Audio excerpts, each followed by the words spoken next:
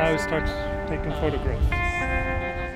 I like to work with maps and like process the data. It's a little bit like uh, when you're processing photographs, like analog photographs, and you have like a blank, blank piece of paper, and then you work with it and put it into different chemicals, and you get some stuff out of it.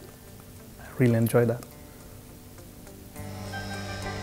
My name is Robert Salmijärvi. I'm studying the program in geomatics with GIS and remote sensing at Stockholm University.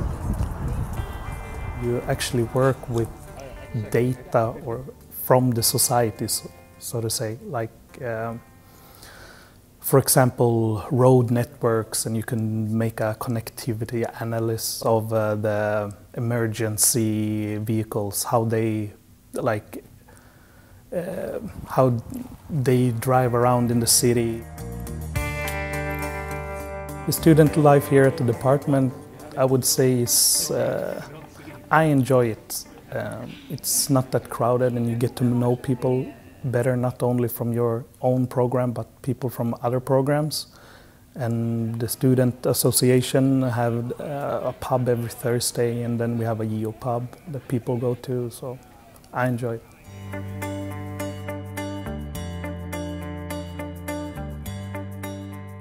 The institution just put in a couple of drones and they're gonna use, use it as part of science and part of the education.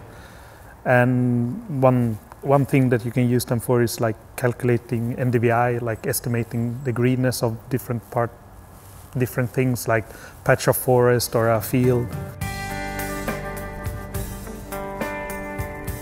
What I do at my internship at the Department of Public Health uh, is that I'm trying to connect how kids uh, transport uh, themselves to school if they choose to walk, take a public transportation or bike or a car uh, that their parents drive, or and connect that to socioeconomic uh, factors uh, if there's a pattern.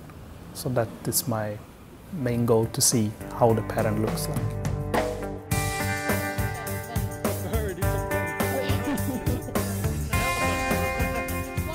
You work for a more sustainable society and a more sustainable world. And that is something that is really important for me and like you get to work with a with meaningful subject that people can use and that actually make a change.